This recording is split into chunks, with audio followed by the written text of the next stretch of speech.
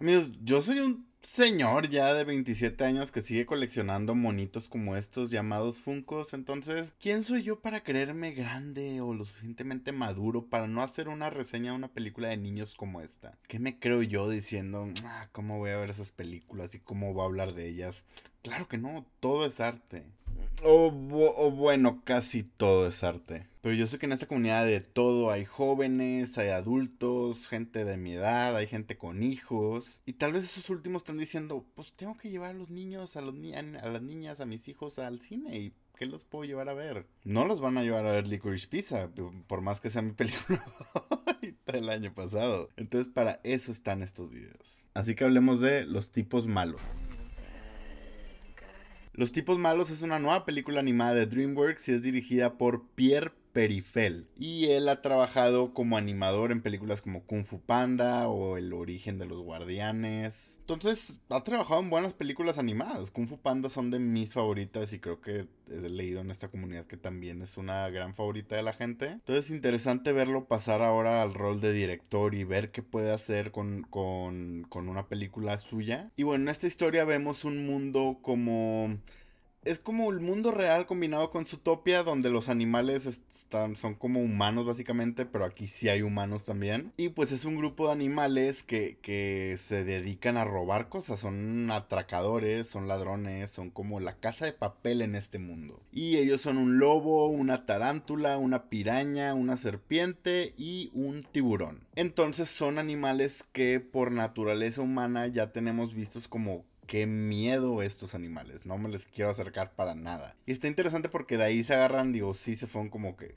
Pues sí, es, es no es nada complejo, pero me gusta la temática que quisieron meter. Porque ellos son vistos no solo por los humanos, sino por los animales también como. Si los veo, me alejo. Y no necesariamente porque seas ladrón, sino porque, pues, por lo que eres. Pero bueno, siendo con la historia, en esta película vemos como este grupo de ladrones está planeando un robo así muy grande, que es como el gran atraco que, van a hacer en sus vidas. Y algo sucede durante este atraco que se dan cuenta, al menos el líder, el lobo, se da cuenta que tal vez le gusta ser bueno, que te lo muestran ahí de una manera chistosa, que es cuando, cuando empieza a mover la cola, como cuando a tu perro le dices, ay, qué buen niño, qué buen niño. les voy a traer a Ren tantito. Saluda, Ren. Saluda, que hace mucho que no sales en los videos. Y bueno, cuando el lobo, que es el líder, se da cuenta de que creo que me gusta ser bueno, empieza esta, esta historia. Que es una historia al final como redención o de, o de cambiar como la gente te ve. Porque no solo es ellos aprendiendo a ser buenos, sino también es la gente aprendiendo a no juzgarlos simplemente por los animales que son. Y está interesante esto porque como que creces con una idea que la de cómo te ve la sociedad y esa idea está tan plantada en tu mente que ya tú mismo te la crees, tú mismo crees que tienes que cumplir con esas normas que te establece la sociedad. Son malos simplemente porque así los han visto toda la vida y soy un lobo, entonces tengo que ser malo y entonces ya me la yo mismo me la creo y no sé cómo ser bueno. Pero pues también está la sociedad que dicen, pues, pues es un lobo y crecí sabiendo que es malo, pues, me, educaron para pensar que es malo, entonces me tengo que asustar cada vez que lo veo. Entonces sí, tiene un buen mensaje para los niños de no juzgar por las apariencias, no juzgar a un libro por su portada. Creo que muy parecido a lo que es Utopia, entonces si les gustó Utopia, esto es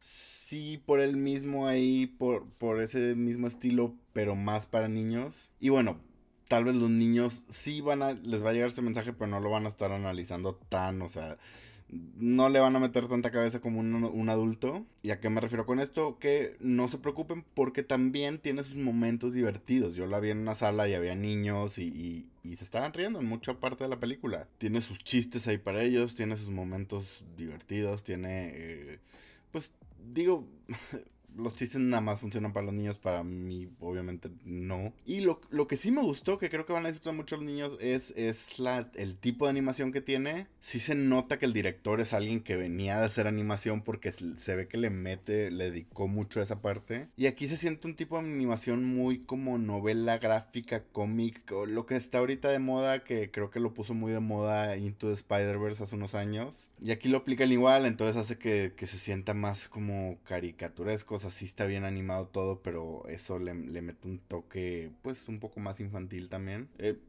no sé qué más puedo decir de esta película. Eh, fuera de, lo que ya dije. Creo que es una película linda con buen mensaje, pero tampoco va a ser así de esas que ves animadas, ah, nominada al Oscar a Mejor Película Animada. O no sé, tal vez sí, yo personalmente no creo. Sí tiene sus cosas que se puede llevar a un adulto al verla, pero no llega al nivel de alguna película como Pixar o, otras cosas incluso de DreamWorks que claramente están hechas tanto para adultos como para niños. Esta sí está muy marcado el, mercado objetivo meta que tiene y son los menores. A esta película no le voy a dar una calificación, entonces le voy a dar un sticker de buen trabajo.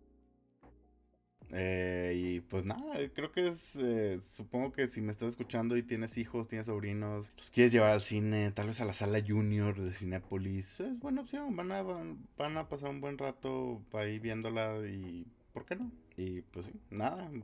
Si ya la viste, platícame qué te pareció, te gustó, no te gustó. Si fuiste con tus hijos o con tus sobrinos o con, no sé, eres un maestro y llevaste a tus alumnos a verla. Eh, platícame qué les pareció a ellos, la disfrutaron o no la disfrutaron. Lo que me quieras comentar aquí abajo te lo agradezco como siempre. Y pues nada, nos vemos en el próximo video. Bye.